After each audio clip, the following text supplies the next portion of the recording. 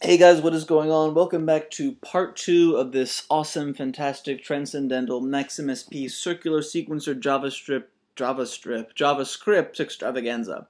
Um, so last time we left off, I showed you how to make a beautiful little circle of toggles like this just by using JavaScript. And since we're really cool, um, instead of only creating 13, uh, we can create any number of toggles that we want. We could create, say, 4 toggles, or 16 toggles, or 12. You may have noticed here that something has gone horribly wrong, and we're now making many, many more toggles than we meant to, because we're not cleaning up the old toggles before we make the new ones. Um, so to fix that, let's jump back to our JavaScript. Um, so one thing that we could do is we could make an array of every toggle that we create, and then be sure to clean up those toggles um, when we make new ones.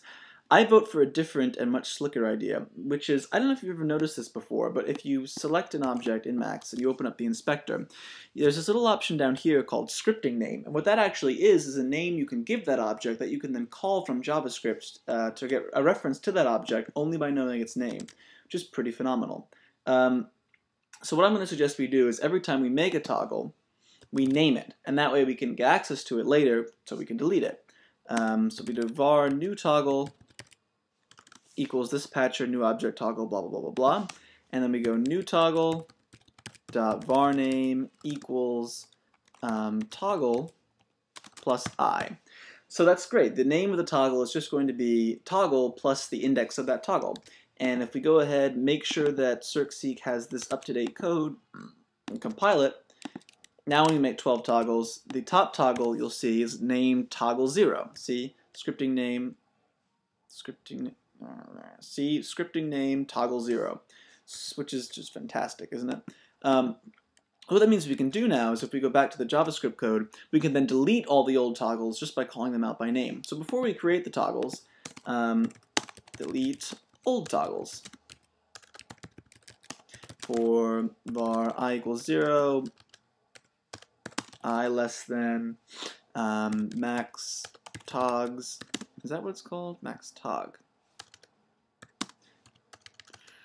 I plus plus um, var old toggle equals this dot patcher dot and the function here is called get named toggle plus i. Now you may notice that um, this deletes all the toggles from 0 to 16 even if we don't have 16 toggles. Um, but fortunately if we try to delete an object that's not there, nothing happens and that's fine. This dot patcher dot remove old toggle. And now we should actually clean up after ourselves when we make the new toggles. Let's just make sure. Eight. Yes, look at that. How cool is that? This is the part where I actually got really excited about JavaScript and Max. Because like, this is pretty cool what's happening right here. Um, for me anyway. So anyway, jumping back to our JavaScript. Now what we want to do is have an array that maintains the state of each of these toggles. That way, when our metronome tells the, the JavaScript object which beat we're on, um, it'll know whether or not to actually play a sound. So I'm going to make a, uh, add another variable up here, uh, call it the toggle state array. So var toggle states equals new array. And then we're going to initialize that array to set all the values equal to zero, because all the uh, toggles will be off by, um, by default. So for var i equals zero, i less than tog max, sorry, max tog, toggle states of i equals 0. I can't remember whether that actually they're 0 by default, but whatever, I don't care. So that initializes our toggle state array. Now what we want, we need a way to get each of these toggles to be able to give its own message to the JavaScript object, and we want to actually hook them up. And the way that I suggest we do that is by using the funnel object. Uh, the max funnel object, in case you don't know, takes a number of arguments, that is the number of inlets it will have, and whenever it gets a message in a specific inlet, it prepends the, um, to the output uh, the index of that inlet. So if we connect this toggle up to inlet 3 here, um, and then watch the output of funnel when the toggle toggles, um, you'll see the output here 2, 1, and that's because uh, inlet's index from 0, so this is inlet 0, this is inlet 1, this is inlet 2, and I got the message 1. So consequently 2, 1 came out of funnel. So what we want to do now is programmatically make a funnel, hook each of the toggles up to that funnel, and hook the funnel up to our JavaScript object. Um, so let's make a variable up here to store our uh, store our funnel, var my funnel equals zero, because initially there's nothing in there. And now, first, uh, after we delete our toggles, we should delete the old funnel if there is one. Delete old funnel.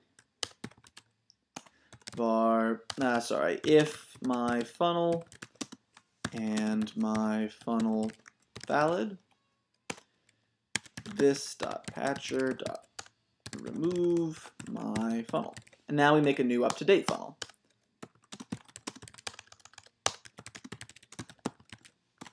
Um, this dot patcher, sorry, my funnel equals this dot patcher dot new default. The x position, new default takes the arguments x position, y position, name of the object, and then any arguments that object has. Um, so in this case, the x position I think should just be a little bit further to the right than the um, circle. So we'll just do toggle inset plus 3 times toggle radius. Um, or I guess it makes more sense to do 2 times toggle radius plus 100. Um, toggle inset for the y. The name of the object is funnel, and the argument it takes is the number of toggles. Cool. Um, so that should actually do all that. Come back here, update this with fresh code, compile, make sure there are no mistakes. There are none. Um, everything should work. Sweet. See, look, we're making a new funnel every time that has the right number of inlets. Okay. After we make the funnel, we need to hook it up to our JavaScript object. To do that, we call this.patcher.hiddenConnect. Um, hidden connect takes as arguments uh, the inlet or outlet you want to use, the name of the object, um, and then the outlet, the inlet, the sorry, the index of the outlet, the object that you want to outlet from, the index of the inlet, the object you want to inlet to. In this case, we're connecting to this um, JavaScript object, so we do this dot box. Um, now let's make sure this is fresh code. Compile. No errors. Make sure this works. It does not work. Why? Why? No, Max, don't pretend like everything's working when you can see perfectly well that it isn't. Um, is it not called Hidden Connect? I think it is. Hold on one second, I'm going to look up the answer. Okay, found the problem. Uh, turns out it doesn't go the outlet and then the object, it goes the object, then the outlet. Um, so this is my funnel, connect the first outlet to this object, its first inlet. Um, make sure that works. And lo and behold, the, fun the funnel is connected to our object. That is just fantastic. Um, cool. So uh, the other thing we have to do is when we create all the toggles, we have to connect them to the funnel object. Um, so after we create the, the toggle, we connect to funnel. So new uh, this dot patcher dot hidden connect um, the new toggle first outlet to my funnel uh, inlet I. Let's make sure that works. A lot of make sure that works, but you know what? You get in a lot of trouble if you don't make sure it works. Uh, 8. And look at that. Each toggle automatically connected to the funnel, and the funnel automatically connected to our JavaScript object. Okay. Now, we want the JavaScript... Man, how much time do we have? Oh, God. All right, so now we want the JavaScript object to update the state of its um, toggle states array whenever it gets a message from uh, one of these toggles. It's going to be of the form which toggle I am and my value. So we make a new function, um, list. This is a special um, a special function name in Max JavaScript objects. This is what, what the object will do when it gets a list. And what we want it to do is make the index into um, the toggle array be arguments 0. That's how you get the first member of the list. And value, we're going to set equal to arguments 1. That will be whether the toggle is 1 or 0. And then we do uh, toggle states of index equal to value.